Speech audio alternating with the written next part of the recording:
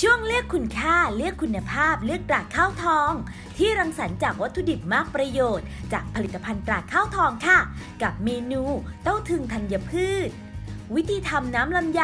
ใส่ลำไยอบแห้งลงในภาชนะ เติมน้ำนำขึ้นตั้งไฟ แล้วต้มจนส่วนผสมเดือด เติมน้ำตาลทรายแดงตราข้าวทอง คนจนส่วนผสมเดือดอีกครั้งแล้วปิดไฟ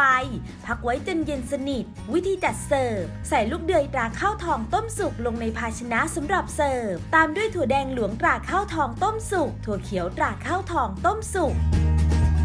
แปะกล้วยต้มสุกพุทราเชื่อมหั่นเป็นชิ้น เนื้อลำไยในน้ำเชื่อม และรากบัวต้มสุกหั่นเป็นชิ้น เรียงให้เป็นชั้นสวยงาม เติมน้ำลำไยที่ต้มไว้ประมาณ3ส่วน4ของภาชนะ ใส่น้ำแข็งด้านบน พร้อมรับประทานค่ะ กับเมนูเต้าถึงธัญพืช